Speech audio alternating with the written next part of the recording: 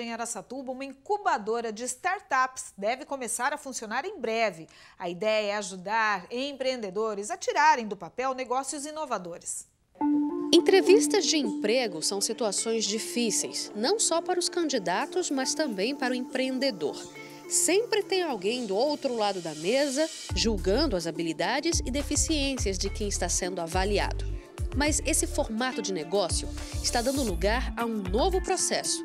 Ao invés de telefones e papéis, tudo o que precisa para começar um negócio é um computador ou celular, um empreendedor com boas ideias e alguém que possa colaborar com o modelo de negócio.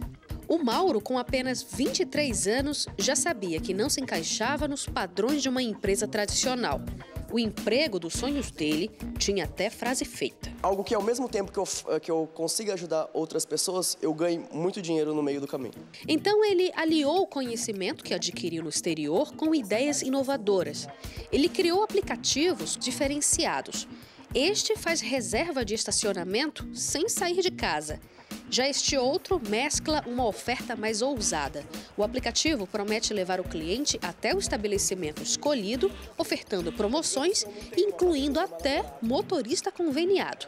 Mas não bastava ter só uma boa ideia, era preciso torná-la atrativa e viável para o mercado e investidores. Por isso, a rotina dele é puxada, mas compensa. A minha rotina, ela é bem light. Eu trabalho em média de 15 a 16 horas por dia, incluindo domingo incluindo quando eu vou viajar com os meus amigos e até no, nos dias de virada de ano na praia, como aconteceu no último Réveillon. Com uma rotina distinta das empresas tradicionais, a startup se estabelece a partir do novo. E como toda boa e nova ideia, é um projeto que pode ou não alcançar destaque. E essas setas mostram o caminho que todo empreendedor quer atingir.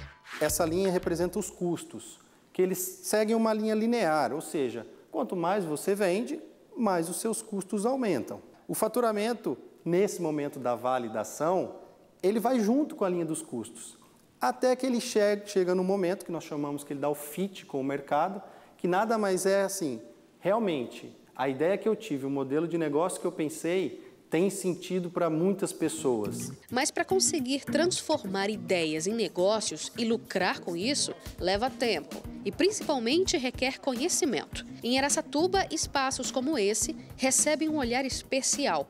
Chamada de incubadora de empresas, é uma aposta certa. Aquelas empresas que possam é, necessitar de um espaço, tem a sua boa ideia, é no ramo de tecnologia, elas possam utilizar do espaço para poder, é, vamos dizer assim, fazer uma caminhada junto ao sucesso. Ela está quase pronta e deve receber até 12 empreendedores. As empresas que vierem a se instalar receberão apoio técnico para desenvolvimento do produto.